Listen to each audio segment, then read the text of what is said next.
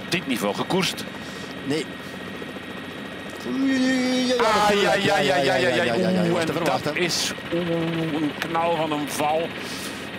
Ja. Dit is met een snelheid, zoals ik zei, van 80 per uur. Het tuig gebroken en het is Langeveld. Het is Langeveld. Ze worden één voor één geliquideerd. Ja. En daar is Joris van Rooij, dat is de dokter met dienst. Dat is eigenlijk ook de ploegdokter van eh, Omega Pharma Quickstep. En dit is Langeveld. Ja, renners die eigenlijk dingen gaan kiezen, per publiek dat dan gaat wegspringen. Die zien die renners komen, ze moeten weg, ze kunnen niet anders. Paats te laat, nog net dat voorwiel mee. Ja. Jongen, jongen, jongen.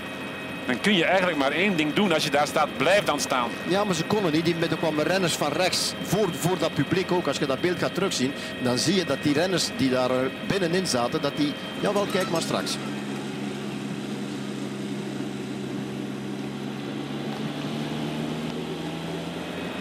Hij blijft liggen.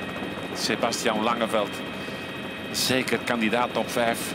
Joris van Rooij. Dokter. Van het befaamde ziekenhuis in Herentals.